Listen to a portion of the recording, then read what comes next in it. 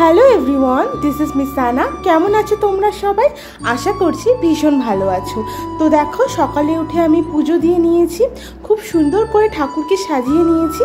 আর আজ হচ্ছে দিনটা ছিল সপ্তমী মানে পুজোর সপ্তমীর দিন।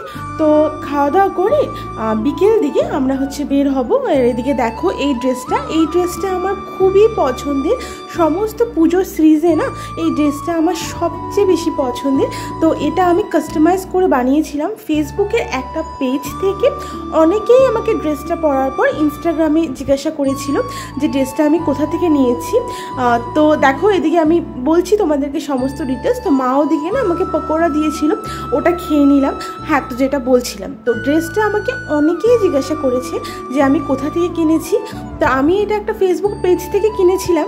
তোমাদের বোঝার জন্য আমি নামটা স্ক্রিনে দিয়ে দিয়েছি। তো তোমরা একটুখানি চেক করে নিও। আর এই ড্রেসটার সাথে আমি একটা ট্রেডিশনাল লুক রাখার চেষ্টা করেছি। আমার খুব পছন্দ হয়েছিল ড্রেসটা তো চলো ড্রেসটা পরে কতগুলো পিকচারও আমি ক্লিক করে নিয়েছি, তোমরাও দেখে নাও। আর চলো ফটাফট বেরোতে হবে, কারণ এরপরে কিন্তু লেট করলে প্রচণ্ড জ্যাম হয়ে যাবে রাস্তায়। তো মোটামুটি যখন সাতটা বাজে আই গেস তখন আমরা বেরিয়েছি। আর দেখতেই পাচ্ছ কতটা পরিমাণ ভিড়। আর লিটারেলি আজও কিন্তু অনেক লোক শপিং করছিল। আর যখন আমরা রাস্তাটা দিয়ে যাচ্ছিলাম, তখন এখানে কিছুটা ওই আদিবাসী নৃত্য টাইপের চলছিল। ভীষণই ভালো লাগছিল দেখতে। তো প্রথম যে আমরা পুজোটা দেখব, সেটি হচ্ছে শিলিগুড়ি টাউন ক্লাবের পুজো।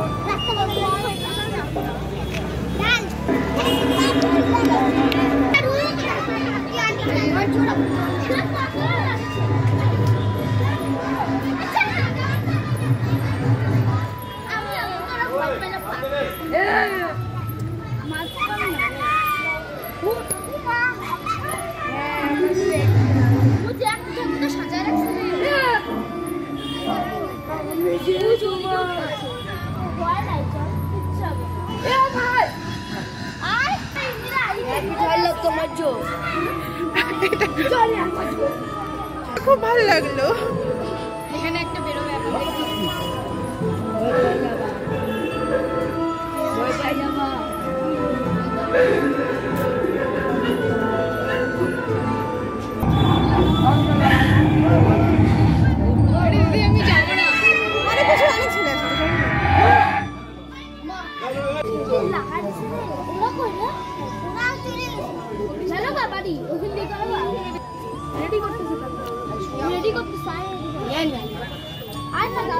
দাদা পুরি এই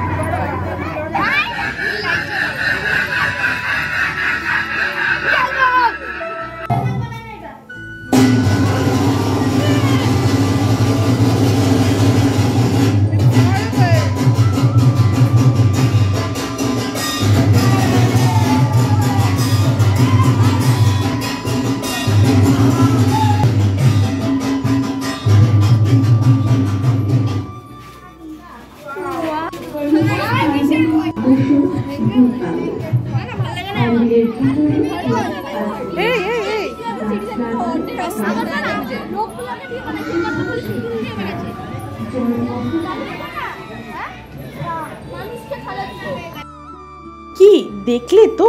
কত সুন্দর হরেবল ছিল পূজাটা। আমি জানি এই পুজোটা তোমরা অনেকেই মিস করেছ, তাই তোমাদের জন্য কিন্তু পুজোটা শেয়ার করে নিলাম।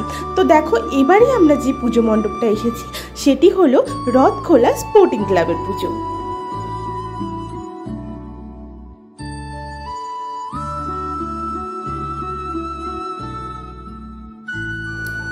এই পুজো মণ্ডপটাও কিন্তু দারুণ সুন্দর করেছিল।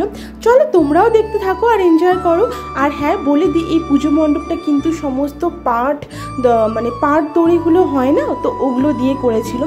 খুব সুন্দর করেছিল। রথখোলা স্পোর্টিং ক্লাব প্রতি বছরই ভালো করে। তো আর নতুন করে কি বলব?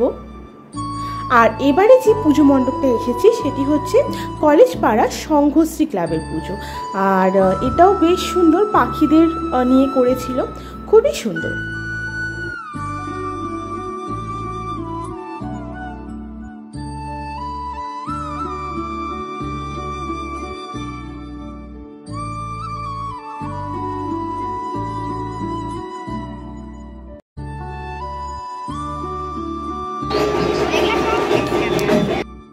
এবারে যে পুজোটা এসেছি, সেটি হচ্ছে রবীন্দ্র সংঘ ক্লাবের পুজো।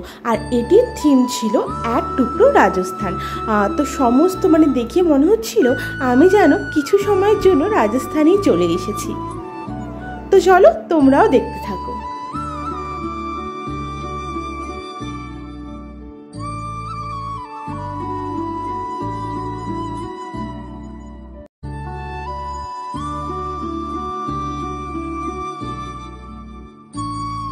এটি হচ্ছে আমার পরের দিনের অষ্টমী ও নবমী পুজোর লুক বলতে পারো।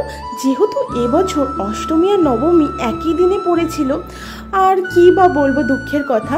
তো সেদিনের জন্য রেডি হয়ে গেছি। এদিন আমি এই ব্ল্যাক কালারের আউটফিটটা পরেছিলাম।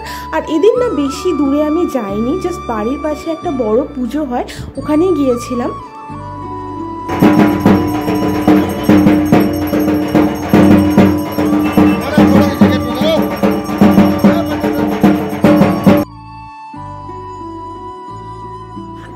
ভেবেছিলাম বাড়ির কাছের পুজোটা আমি একটুখানি লেটে দেখব।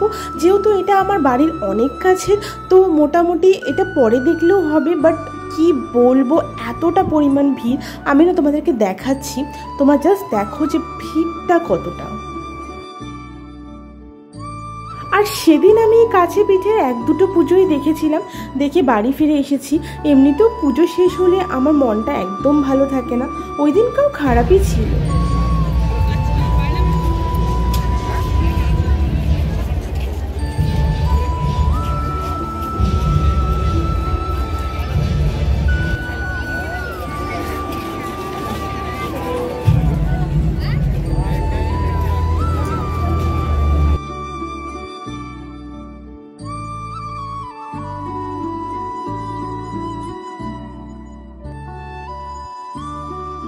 দেখলে তো তোমরা ভিড়টা এই পুজোটা দেখেই আমরা কিন্তু বাড়ি চলে এসেছি। তো চলো আজকের ব্লগটা আমি এখানেই শেষ করছি। আর এখানেই আমার দুর্গাপুজোর স্পেশাল সিরিজের ব্লগগুলো শেষ হচ্ছে। দেখা হচ্ছে নেক্সট ব্লগে আজকে এখানে শেষ করছি। বাই